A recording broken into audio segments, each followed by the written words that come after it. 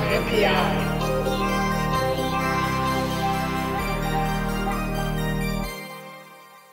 New product introductions brought to you by DigiKey and Adafruit.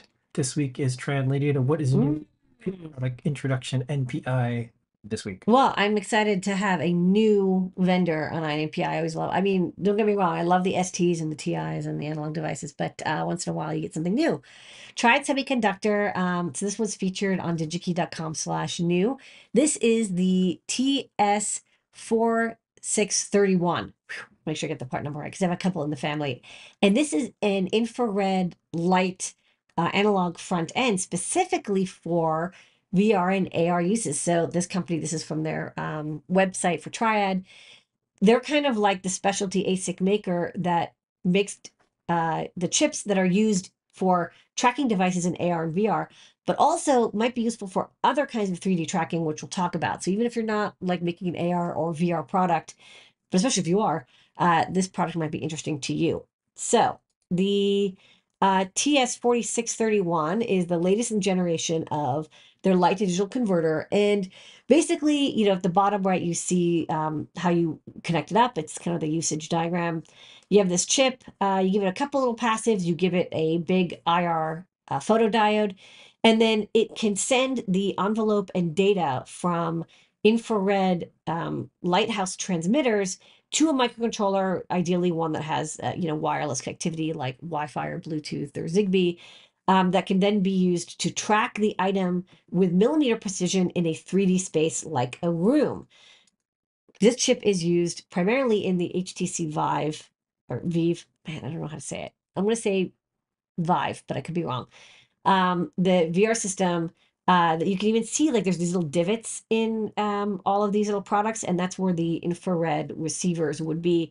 And then the two things and the top right and top left, those little square, roundish boxes, those are what are called lighthouses. And they look, and it's a beautiful Creative Commons, I thought public domain photo of a lighthouse. They work just like a lighthouse works, where uh, inside is um, those boxes are these really bright infrared lights. So you don't see them with human eyes, but sensors can see them. And um, this is from the presentation from Alan Yates, who who I guess worked on developing those base stations. This is actually not what it looked like in the end. This is, I think, a prototype. But basically, there's like these really bright infrared IR lights, and then there's X and Y scanning motors, which you can see like in that photo, and the the, the lights are on the top uh, and the left, and the bottom and the right are the scanning motors. And the scanning motors um, rotate consistently at I think like 30 hertz and flash the infrared light around the room as a line. Um, so basically scanning the room.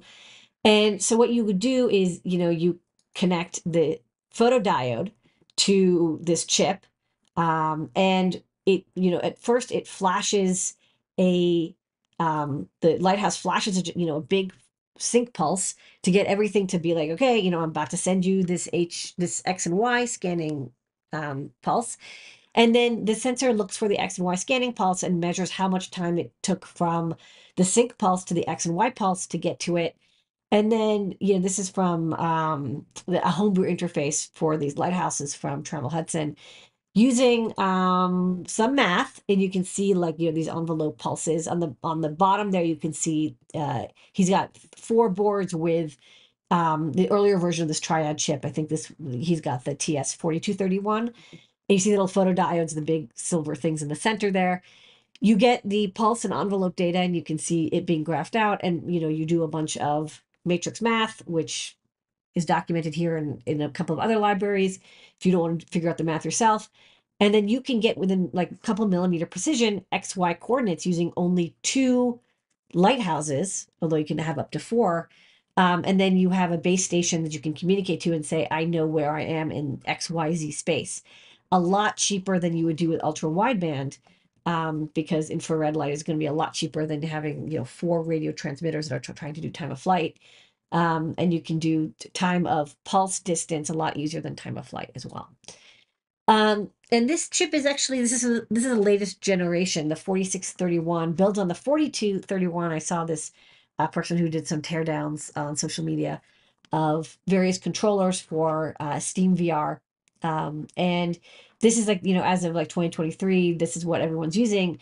Uh, this new generation is a lot lower power, has like good deep sleep modes. But you can see it's like a very small chip, very easy to use, and then you you can see the um, photodiode is much larger than the chip itself, and even all the passives.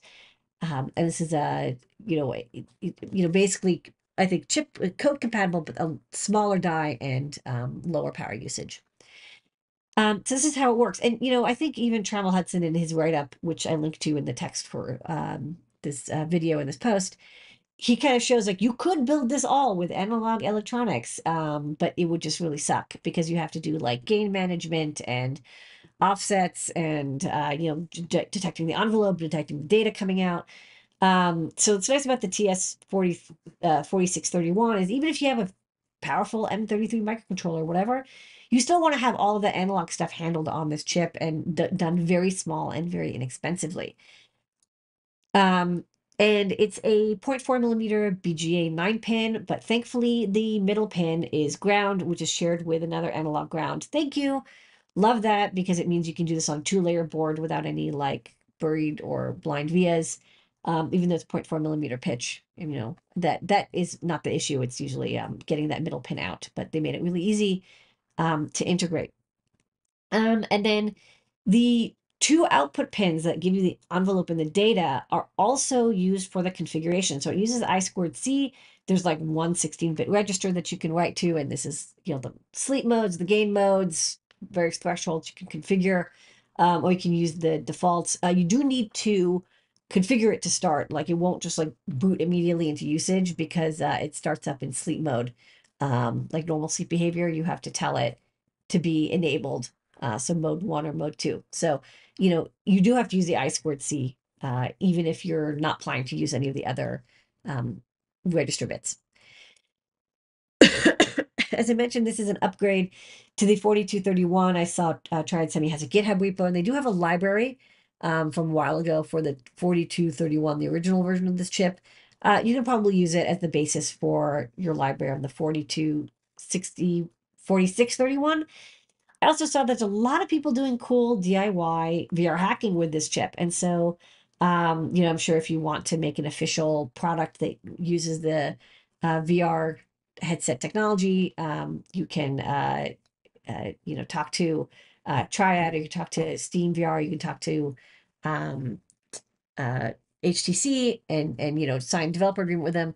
But if you also want to do do your own thing, DIY something with um, AR or VR without necessarily going through the development process, you can buy these chips, and you know the stuff isn't under NDA; it's fully publicly uh, documented. Um, you can follow along with some of these projects and guides, including this really cool white paper um, that basically shows how to make like a full 3D positioning system. There's also from CNLohr, uh, he wrote uh, libsurvive, which is um, a Python library runs on desktop that will do all the 3D calculations for you to create your own trackable objects without, again, having to uh, purchase a tracker. You can make small ones that use your own technology stack and your own sensors. So I think really neat. So check it out. It's in stock. Um, don't forget you need that photodiode. Uh, but very cool. Um, you know, I think could be useful for drones, could be used for interactive art, could be used for like any internal um, tracking where, you know, the cost of the trackable device is, you know, can be made for under $5 bill material. All right. And that's this week's on NPI. on NPI.